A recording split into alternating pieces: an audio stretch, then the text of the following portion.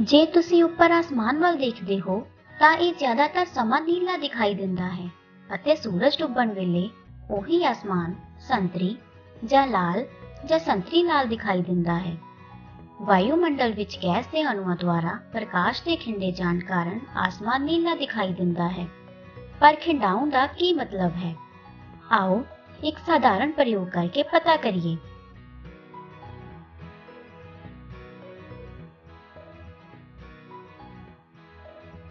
ਇਸ ਮਜ਼ੇਦਾਰ ਪ੍ਰਯੋਗ ਲਈ ਤੁਹਾਨੂੰ ਇੱਕ ਟਾਰਚ 1 ਲੀਟਰ ਸਾਫ਼ ਪਲਾਸਟਿਕ ਦੀ ਬੋਤਲ ਪਾਣੀ ਅਤੇ ਕੁਝ ਡਟੋਲ ਦੀ ਲੋੜ ਪਵੇਗੀ ਸਭ ਤੋਂ ਪਹਿਲਾਂ ਬੋਤਲ ਨੂੰ ਸਾਦੇ ਪਾਣੀ ਨਾਲ ਪੂਰੀ ਤਰ੍ਹਾਂ ਭਰੋ ਅਤੇ ਇਸ ਵਿੱਚ ਡਟੋਲ ਦੀਆਂ ਕੁਝ ਬੂੰਦਾਂ ਪਾਓ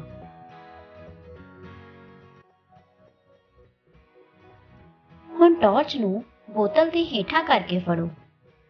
ਤੁਸੀਂ ਵੇਖੋਗੇ ਕਿ ਬੋਤਲ ਦਾ ਹੇਠਾਂ ਨੀਲਾ ਦਿਖਾਈ ਦਿੰਦਾ ਹੈ, ਜਦੋਂ ਕਿ ਉੱਪਰ ਵਾਲਾ ਭਾਗ ਸੰਤਰੀ ਦਿਖਾਈ ਦਿੰਦਾ ਹੈ।